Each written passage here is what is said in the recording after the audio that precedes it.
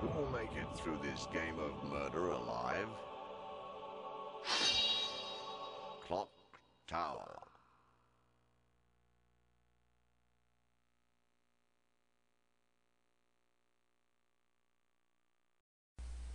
Hello guys, welcome back to Let's Play some Clock Tower, and my capture card still flickers, god damn it, even though I edited it to make it look like it would do better, but it doesn't, you little bastard! Why don't you agree with me? Why don't you love me the way you're supposed to? Tell me how am I supposed to live without you? Okay, enough of that. You said your hard drive crashed. That's too bad. Jimmy Gillicus. Yes, I lost all this morning's data. I hope I can get it fixed sometime today. Otherwise, I won't get my disser- disserta- dissertation. That's it. Dissertation. Done on time. Don't worry. When Danny gets back, I'm sure he'll be able to help you. Look at my boobs. You're probably right. In the meantime, I'm going to step out for a bit. Would you ask Danny for me, please? Oh, sure thing, love. See you later.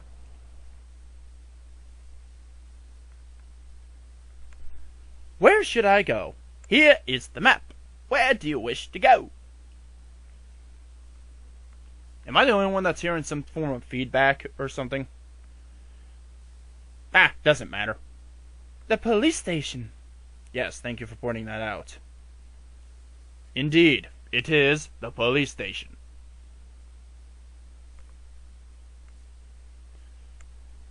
Assistant Inspector Gotts, the person in charge of the clock tower cases, here.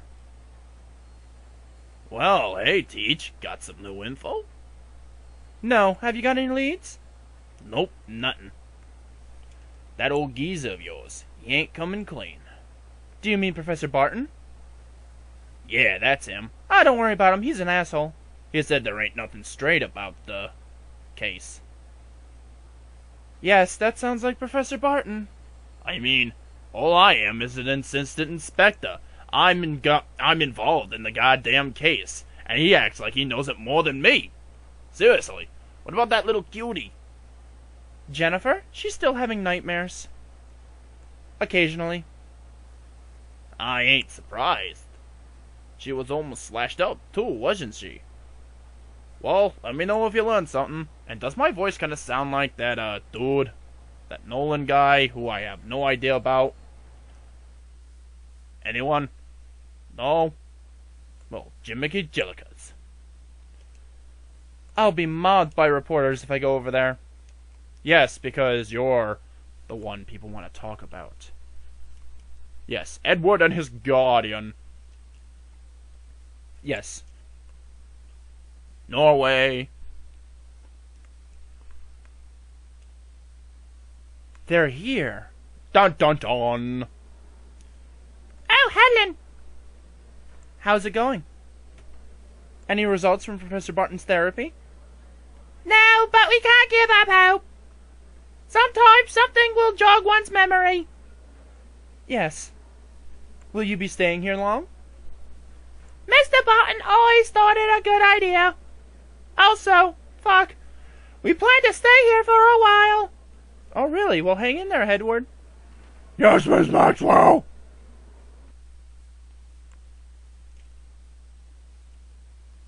Didn't realize it was this late. I've got to get back to the university. No, we're going to the Metropolitan Library.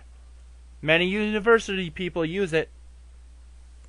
So yeah, fuck you, we're not going yet.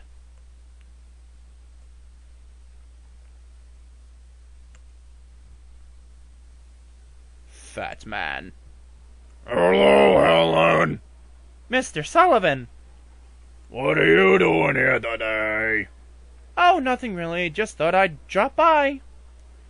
Oh, I see. I wanted to show you my collection, and this is kind of hurting my throat. I've just had a new piece.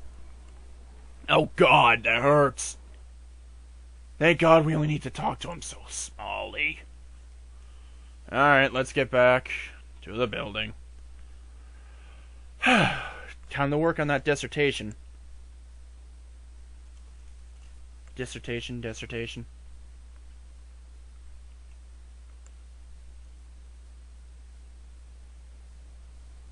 Oh, Miss Maxwell. I replaced your hard drive. Thanks, that's a big help. I'm going down to the lounge for a short nap. What are you going to do? We'll be all going home soon. Oh, okay. Well, no need to lock up. Okay. Well, that was blimmin' fast. Scenario 1 Helen Maxwell. So glad to know we're finally in Scenario 1. Bookity boo. Talk to this bitch.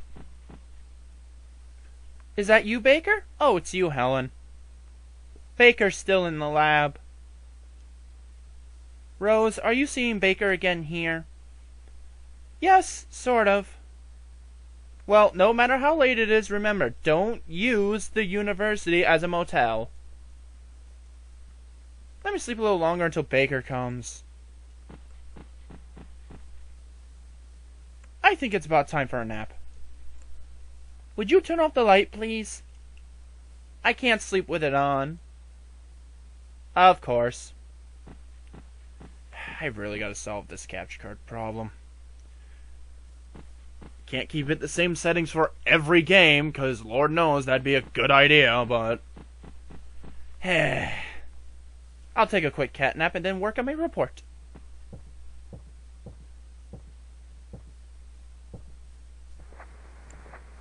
Okay, the graphics weren't the greatest thing ever, but this is still a good game. Shut up! Let me have my fun! Knock knock? Knock knock? Knock knock? Who's there? Orange who? Yes, yes, yes. Oh, you must be Mr. Baker. You know, I know a Mr. Baker in real life. You look nothing like him. Yeah, because I know him because he's alive. Oh, it's Scissor Man. Hello, Scissor Man. How are you doing? You're taking an awfully long time to get to me, you know that? Oh, time to go! And no, the game is that actually laggy. Frame rates. Okay, now there's gotta be a defensive item somewhere.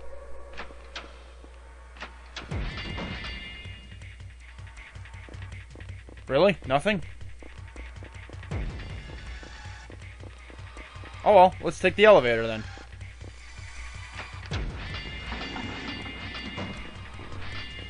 This usually drives them off.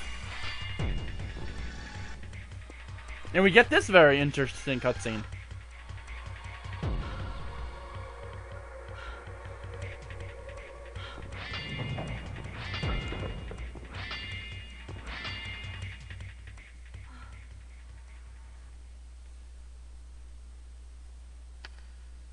You know, the way they talked about um, Clock Tower, this the whole series in general, if you decide to follow it and try to get explanations through like the wiki and all that, it's kind of odd why he why um Scissor Man doesn't do what he does. Out of um spoiler sake, I really don't want to say anything, but other times I just really don't care and I should just, you know, speak what I want. So you know what? Yeah, I'm just gonna talk about it. Fuck it. Basically, from what I understand about from reading the Clock Tower wiki and stuff like that, I learned that um the twins, Danny and Bobby, were supposed to die at birth. However, because of um Mary, Mary, yeah, that's her name. Because of Mary's um, intervention with a satanic ritual, she stopped time. She stopped time in the little area she had.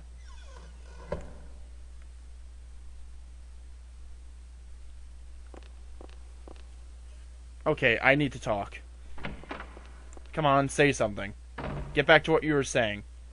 Basically, the children were supposed to die, but Mary engaged in a satanic um, ritual, which basically saved her boys by stopping the clock tower, thus making time stand still in the Barrows mansion. However, which was called Clock Tower, but however, they couldn't leave. Otherwise, they would be dead. So, Mary was bringing victims to Dan- to Bobby. That's the that's the Scissor Man of the first game. One for Bobby, one for Bobby's enjoyment, and two because Danny was plotting something. He was invoking something to make sure he could escape that rule. The fax machine rings, and basically, in order to do that, he needs to construct himself a body. Thus, why in the first game he's a giant purple baby. That was basically like a cocoon for a caterpillar, if you will. And inside the giant purple baby was the body that is now known as Edward. So, yes, in case you were wondering, Edward is the Scissor Man. He's also Danny Barrows.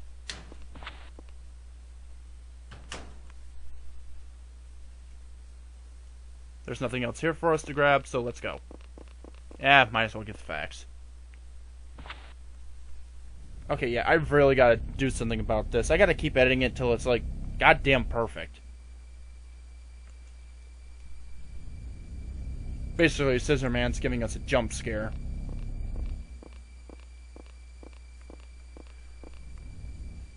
And so when Jennifer burns the giant purple baby, in the Japanese version of the first clock tower, Please.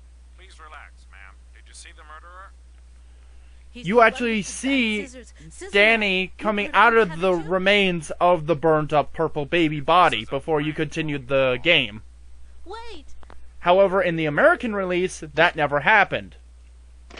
And to be honest, I am actually better off with the American version because it gives it more of the element of surprise in this game. You've got to help, or he'll kill me too. Oh, Because if you play, because if you played the Japanese version and you saw that, and then you found Edward, you kind of could have pictured two and two together, we'll send someone. which kind of destroys the premise of you know it's supposed to be a surprise. Already somewhere in the building. So that's a good thing. What's your location? Southern Oslo University.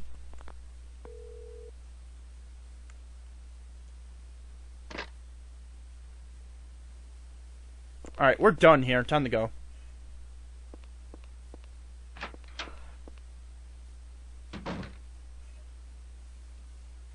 Do.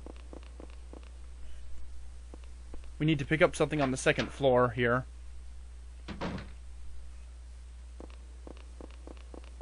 Oh wait a minute. Not a, no, I don't think we do. I think I'm just wasting time.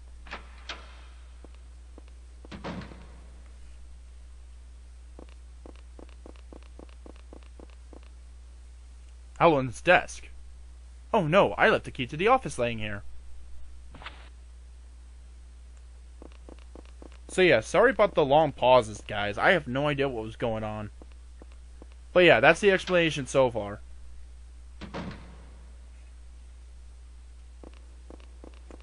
It's actually very interesting if you look up lores of like Clock Tower and stuff.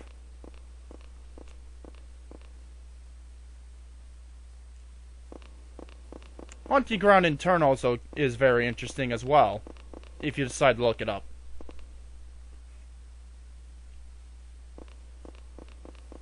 We need to go in here.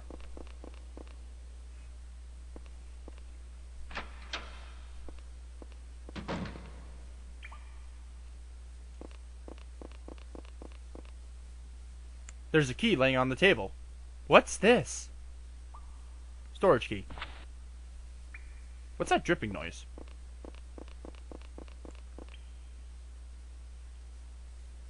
Well, investigate it.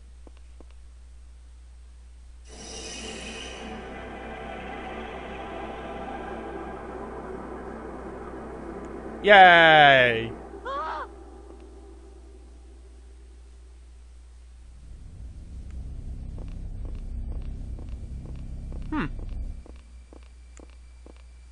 I haven't really run into Scissor Man, really.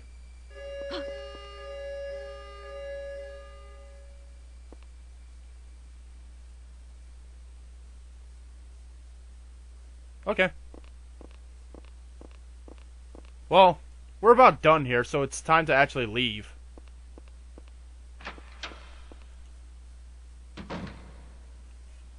No need to milk out this episode any longer. Come on. Through that door. Or was it the next one over? Yes, it was this one. Okay, I get it. This should be the storage room. Yep. Take the pliers to the door.